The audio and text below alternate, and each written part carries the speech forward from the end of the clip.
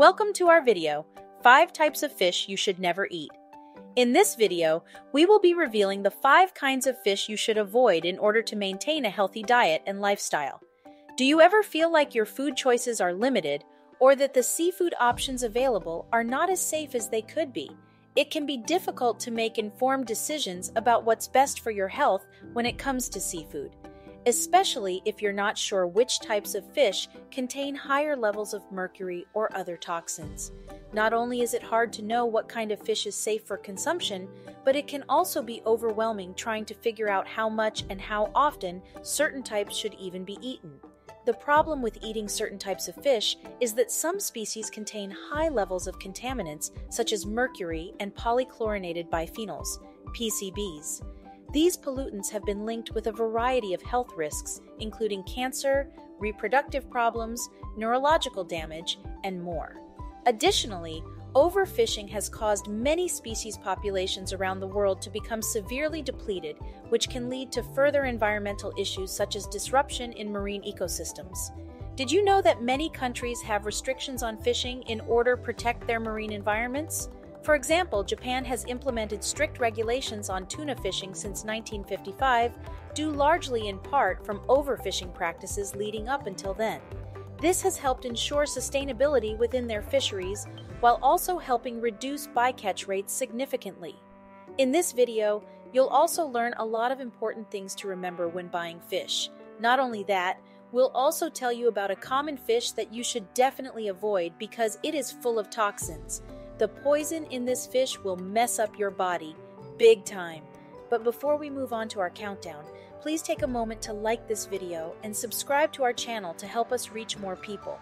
Also, don't forget to click the notification bell so you can be the first to know when our latest video comes out. So without further ado, let's start the countdown to the five types of fish you should never eat starting with Number 5.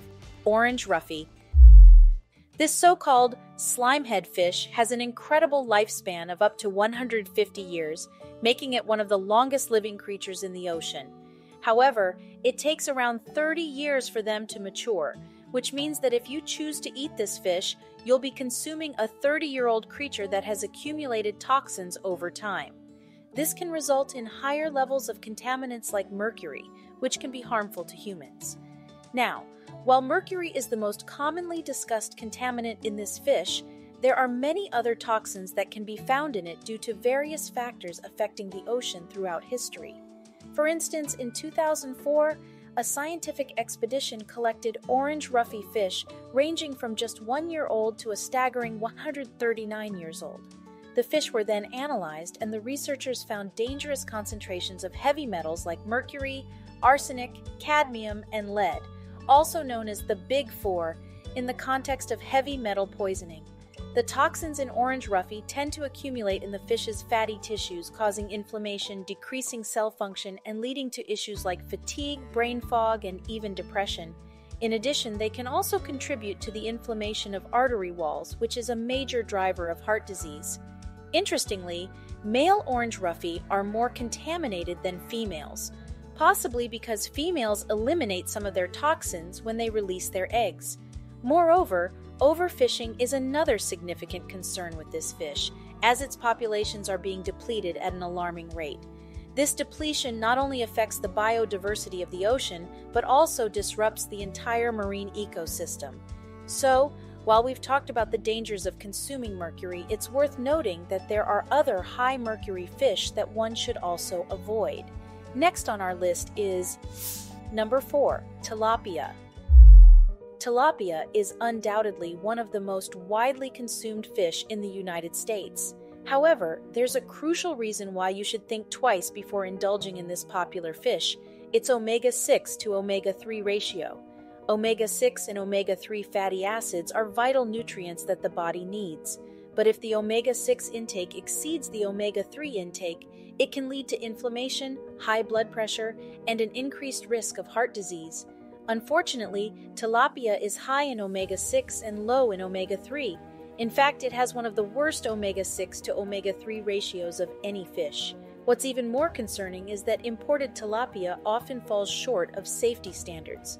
The US FDA has flagged several exporters for regularly sending tilapia with unacceptable levels of harmful chemicals. Some of these chemicals, used to control parasites in fish farms, can be carcinogenic and have been banned in many countries. However, some fish farmers continue to use them and sell their products under the radar. Similarly, imported tilapia may contain high levels of antibiotics. The overuse of antibiotics can lead to antibiotic resistance, which is a growing problem in human health. So, if you're looking for a healthy fish option, you might want to think twice before choosing tilapia.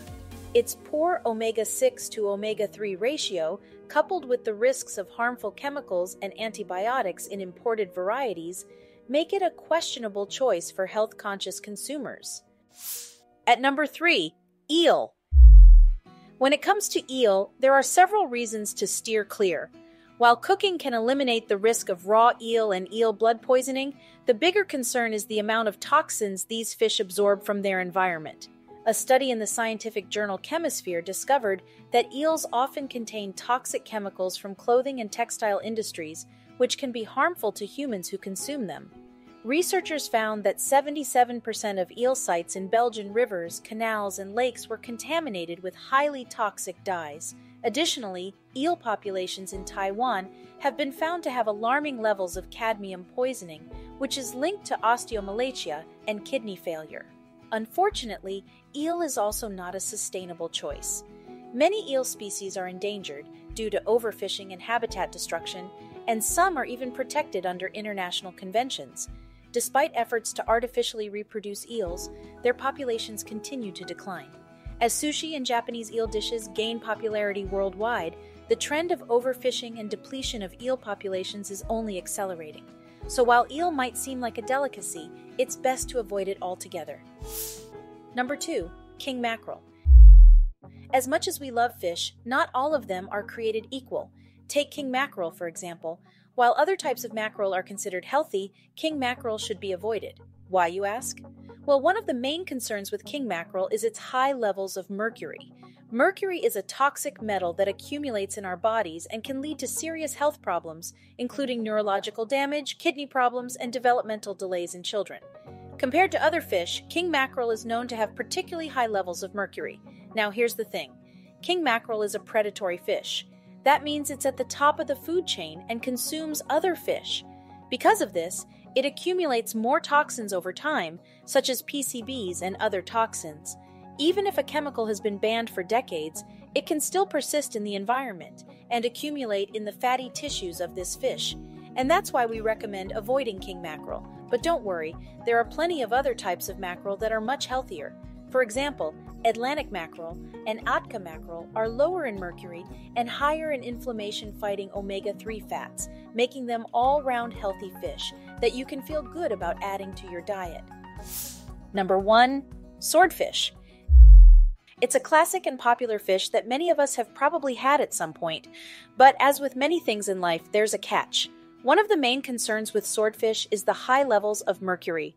Mercury is a toxic metal that accumulates in the body over time, leading to serious health problems such as neurological damage, kidney problems, and developmental delays in children. Swordfish is a predatory fish, and similar to king mackerel, it's at the top of the food chain. And due to the high levels of mercury and other toxins it has, the FDA recommends that pregnant women, young children, and those with weakened immune systems avoid eating swordfish altogether. Instead, choose safer fish options such as salmon or trout.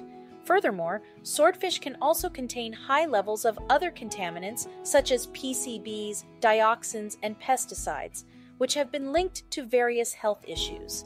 Additionally, swordfish is a slow growing species and is therefore more susceptible to overfishing.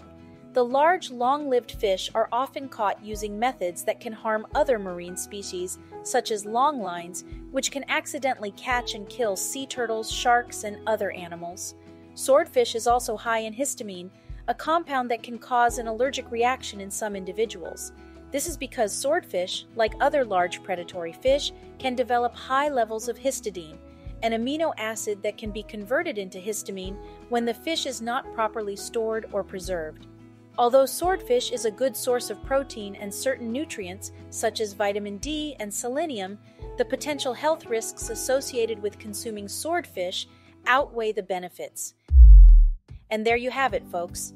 Five types of fish to avoid due to their high levels of toxins, pollutants, and mercury. While fish is a great source of protein and healthy fats, it's important to be aware of which types of fish are safe to consume and which ones to limit or avoid. By being informed about the potential risks associated with certain types of fish, we can make better choices for our health and the health of the planet. Always check with your local health department for any fish consumption advisories and guidelines. Remember, a healthy and sustainable diet includes a variety of nutrient rich foods, including fish. So, go ahead and enjoy your seafood, but do it wisely and responsibly. We hope you found today's video useful. Do you have any questions or tips to share? Write them down in the comments below. Don't forget to click the like button, subscribe to our channel, and hit the notification bell so you can stay up to date with our latest videos. We want to keep making informative videos for you, so if you gained value from this video and would like more of it, you can send us a super thanks by clicking the thanks button at the bottom of the video. Thanks for watching, and we hope you're having a healthy and happy day.